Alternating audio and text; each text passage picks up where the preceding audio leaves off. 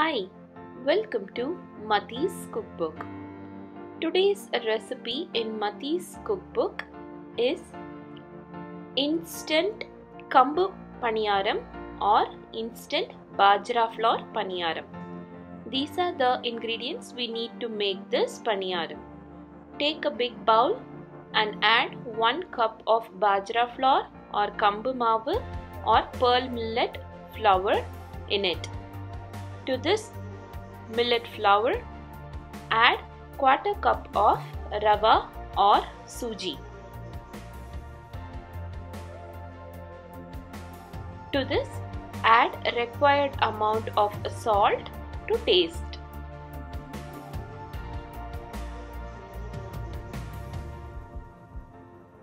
Now we are going to add quarter cup of curd to this dry ingredients.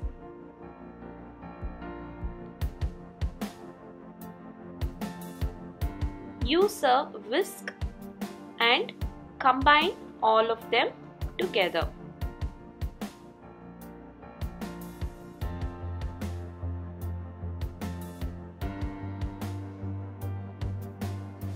Now add water and make them to a thick batter.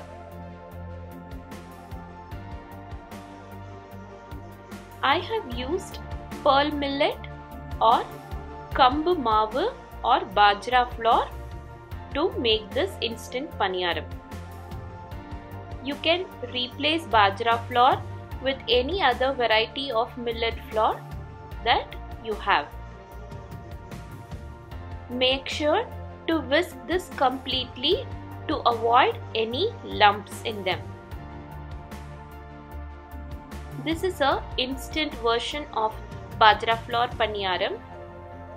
Now once the batter is ready, add green chilies, half a teaspoon of grated ginger, 1 tablespoon of chopped onions, 1 tablespoon each of chopped carrots and green beans and 1 tablespoon of coriander leaves that are finely chopped. Apart from these vegetables, you can also add any other vegetables of your choice. Add quarter teaspoon of asafoetida powder and combine them all together.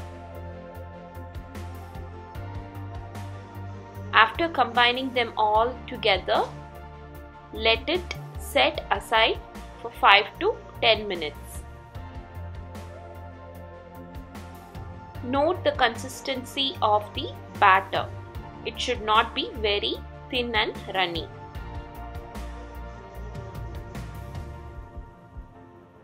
Now add 2 pinches of baking soda. Quickly mix them and now our paniyaram batter is ready.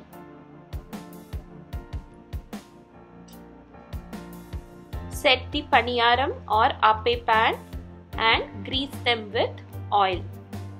Here I have used gingerly oil.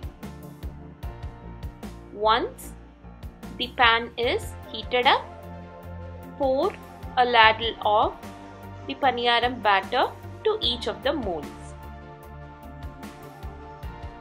Make sure to keep the flame in medium while cooking this paniyaram to make sure they are uniformly cooked.